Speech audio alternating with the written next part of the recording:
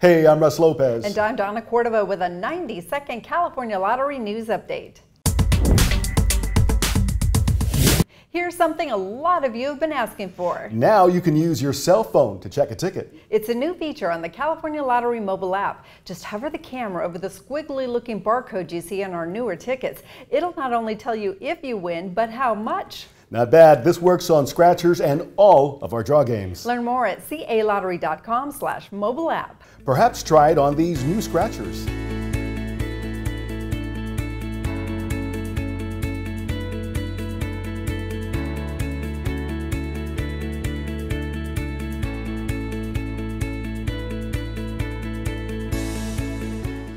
Lottery funding helps support California public schools. This funding is unique because it's flexible, so schools can use it on specific things that they need other schools don't. For example, Sacramento City College teaches dental hygienists, so it uses lottery funding on bibs and gloves students use when they train on actual patients. It was nice to have to critically think using what we've learned in the classroom and applying it to the clinic setting. See other ways schools use lottery funding at calottery.com slash edvideos. And stay connected with us on Facebook, Twitter, YouTube, and Instagram. Till next time.